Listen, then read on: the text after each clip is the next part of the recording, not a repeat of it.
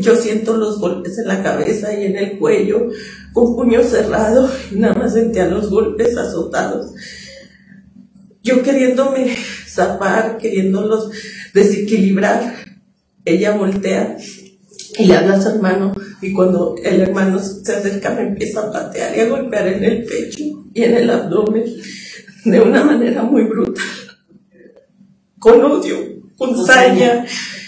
Este, mi tía queriéndome quitar a una de ellas, este, ella tiene artritis, mi mamá, mi tía son de la tercera edad, me lo quieren quitar y el mismo hombre le azota las manos para quitarle de los cabellos a la hermana, por lo que también la lesiona.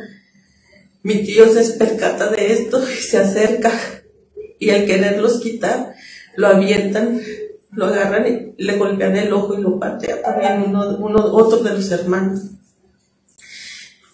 Yo pasé mi vida en un minuto.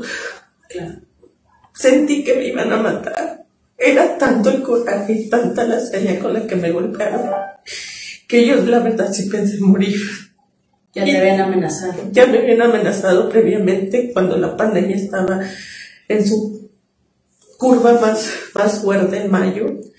Este, igual aquí afuera, este, al salir de, de aquí de mi domicilio, yo iba saliendo en el carro y, y, uno de ellos se acercó a mi carro y me dijo que me bajara, que me iba a partir la madre que me iba a matar, porque yo era una basura que iba a infectar a todo mundo.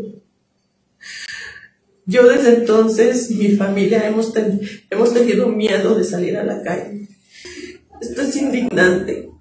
La violencia contra nosotros como personal de enfermería, como personal de salud, porque no nada más soy yo enfermera, hay médicos, hay personal de limpieza, camilleros, entonces todos estamos en riesgo de, una, de esta enfermedad y ahora tenemos que cuidar de la gente ignorante, porque es una gente ignorante que no sabe que no traemos el virus en la mano y que ya nada más con que te digan no lo que hagas te voy a contagiar.